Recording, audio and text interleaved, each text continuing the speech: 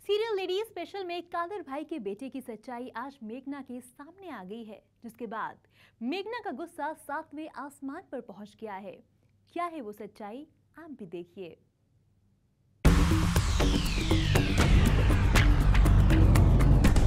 Serial lady special में आज मेघना और मंदार के सामने आ ही गई कादर भाई के बेटे की सच्चाई। कादर भाई की नाजुक हालत के पीछे अभी तक जो शक उनके बेटे पर था, वो सच आज हकीकत में तब्दील हो गया है। कादर भाई के बेटे को पैसों की लालच इस कदर हो गई थी कि उन्होंने अपने ही पिता की जान लेने की कोशिश की। और जब मेघना को कादर भाई के बेटे की सच्चाई पता चली तो मेघना ने हॉस्पिटल में ही लगा दी उनके बेटे की क्लास। गॉड ये तो बहुत डेंजरस है। फ़ोटो सेंसिटिव एपिलेप्टिक फिट का ये बहुत बड़ा ट्रिगर हो सकता है। अमित तुम जानते थे ना इस लाइट की वजह से उन्हें दौरा पड़ा और इसी वजह से तुम हॉस्पिटल वापस आए। और कादर भाई अच्छा खासा ठीक हो रहे थे लेकिन उनको ये लाइट दिखाकर तुमने दूसरा दौरा पड़ा। और वो कोमा है ना?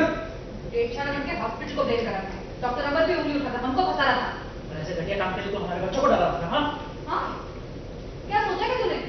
ये मैजिक का सब झूठ बोल के उनको डराया ऊपर से बता किसको और बोलेंगे ना तो गायब हो जाएँगे करके कितना डर गए थे बच्चे मेरे रात भर रो रहे थे ये सोच के कि उनकी वजह से कादर भाई बीमार हो गए और ये सब क्यों किया पैसे के लिए ना घटिया आदमी है तू ये सब बवाल हो ही रहा होता है कि तभी आ जाते हैं कादर भाई, जो सबके सामने अपने बेटे को चप्पलों से मारते हैं।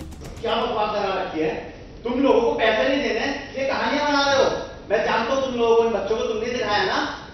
अरे, क्या मैजिक मैजिक लगा रखा है? तो वो मैजिक नहीं जानता। आप सब लोग मिलकर मुझे पागल बना रहे हो।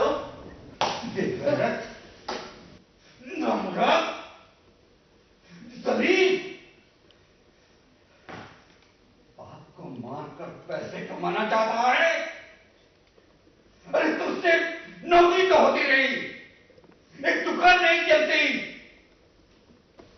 तो ये तरीका ढूंढ निकाला।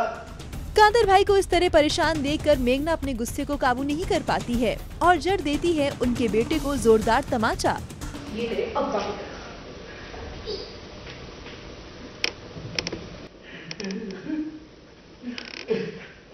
मर के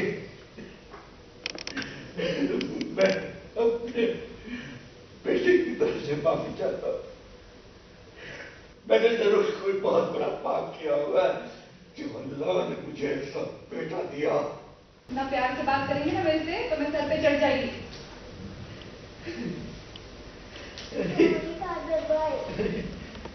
बस करो बच्चे बस करो।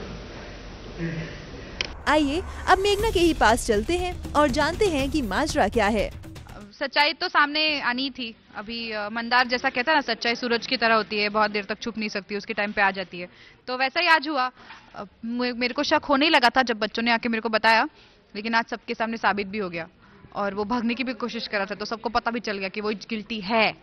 तो अम, मेरे लिए सरप्राइजिंग था कि कादर भाई उठ के आए और उन्होंने बहुत मारा उसको। तो मैं तो बहुत खुश थी। चलिए अब बिंदु से भी जान लेते हैं कि आखिर उन्हें अचानक से हॉस्पिटल आने की ज़रूरत क्या पड़ गई। बहुत कुछ ड्रामा हो गया. एक्चुअली मैं कुछ और ड्रामा क्रिएट करने आई थी. क्रिएट करने नहीं बट Uh, मुझे कंगना की सच्चाई पता चलती है और uh, मैं बस uh, सुनाने आई थी कंगना को कि how can you do that to me मेरी फैमिली के साथ जब मोटा पापा को डिवोर्स पेपर्स उससे भिजवाया जो मुझे पता चल जाता है. सो so, मैं बहुत गुस्से में हूँ और मैं कंगना जी को डांटने ही जा रही हूँ, तब मुझे पता चल रहा है कि ऑलरेडी अमर जी और उनका झगड़ा चल रहा है फॉर सम रीज़न सो हम घर जा रहे हैं, सामने मेघना मिल गए तो मेघना ने कि, चल, दिखाती तुझे तुझे लगता है ना पूरी दुनिया बहुत स्वीट है एंड यू केयर अलॉट तुझे सब पे बहुत ट्रस्ट है तो तुझे दिखा दिया एंड देन पूरा ड्रामा देख रहे हैं हम, क्या चल रहा है. कादर भाई के बेटे ने जो अपने डैड पे मतलब पैसों के लिए डैड को भी परेशान कर रहे हैं टाइप्स सो so, यही सब ड्रामा चल रहा है हम देख रहे हैं। वेल well, अब देखना ये होगा कि कादर भाई इस सदमे से कैसे बाहर निकलते हैं और मेघना कैसे देती है कादर भाई का ऐसे हालातों में साथ। मुंबई से शिल्पा पाटिल की रिपोर्ट ई ट्वेंटी